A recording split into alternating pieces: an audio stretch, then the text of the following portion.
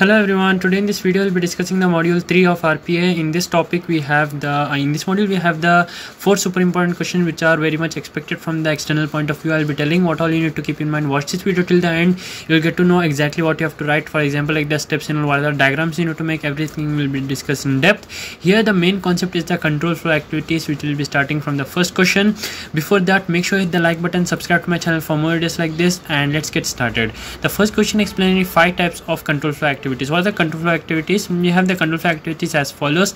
Assign activity. Assign activity what you have to make is like a box like this you have to make and you have to make a small box here small box here and a variable here and some value here. That value will be assigned to that variable. That is known as assign activity. To assign some value to a variable we'll be using assign activity. Delay activity means we'll be having a box like this and there it will be written uh, delay if you use this it will be delayed for a particular amount of time between two operations. Break activity if you want to come out of an execution statement you will be using break. It will be just like a box it will be written break in that. While activity it will execute until our a condition gets false. Do while means you will be doing some activity then you will be checking a condition until it uh, becomes false.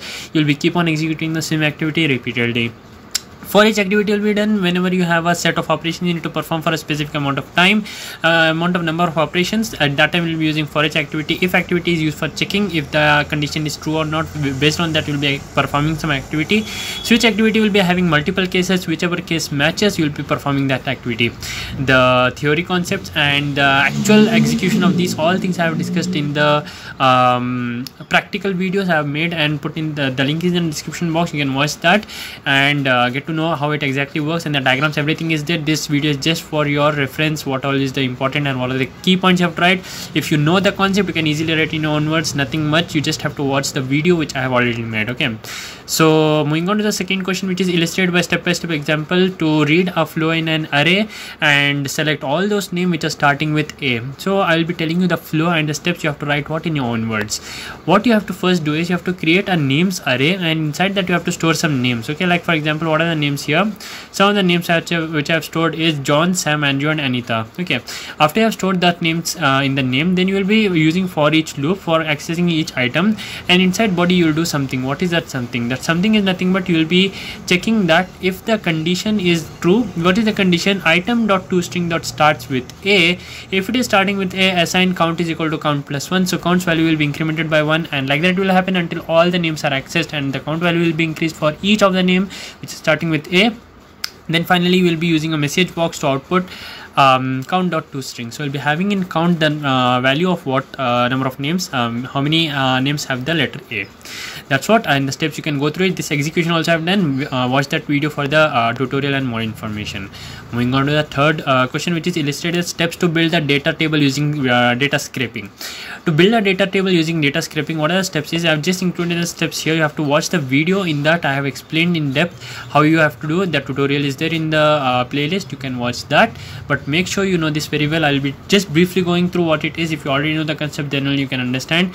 There's a screen and you will have a desktop a data scraping here. When you click data scraping a website will open. Inside the website you will be having some data. You'll be selecting one of the uh, data and the similar data will be selecting further.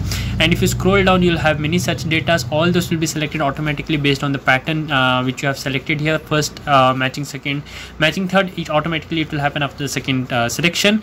And when it gets selected it will come and store inside the data data table and that data table can uh, access and it can be converted to string or whatever you want. You can output in the message form or whatever you uh, you can't uh, you want you can do it okay?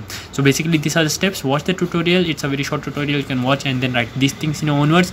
These are just uh, the important key points. You can just go through the uh, bullet points. After watching the video you'll get to know moving on to the fourth super important question we have what are the five uh, methods that are uh, frequently used with an excel file? Excel file is used for what? Two things writing and reading that's all. But here we have write uh, read and uh, and uh, append also. So uh, we'll be having many things and uh, we'll be having read cell and write cell read range uh, write range and append range. So uh, the read cell write cell read range and append range we'll be having. So in the read cell we'll be reading some data and in the write cell we'll be get uh, writing some data in the read range and the write range will be uh, reading a particular set of data and writing also the particular set of data. And um, so uh, what the main concept you need to keep in mind is for reading the cell you will have to use the excel application scope. In the excel appli application scope you will be having some uh, application scope here. Inside that you will be reading some data. For the, uh, for the reading of the data you will be uh, putting an activity called as read cell.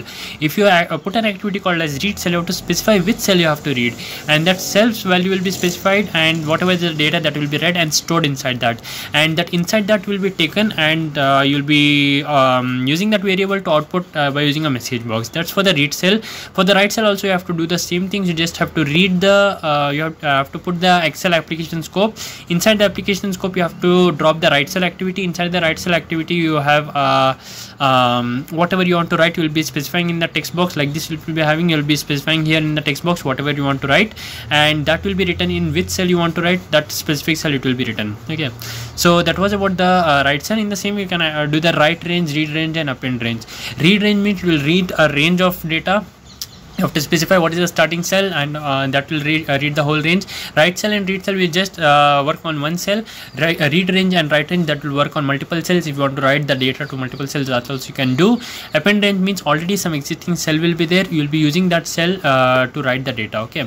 So what you have to do first is go to the playlist link which is given in the description box. Watch all the tutorial videos because most of the questions from the module 3 are gonna be asked on the tutorial thing only. If, uh, if you haven't executed yourself make sure you watch the video that uh, that will make you a uh, slight hint in your mind what you have to actually do okay? Without that if you just um, watch this video it will be very hard for you to understand what i am telling okay?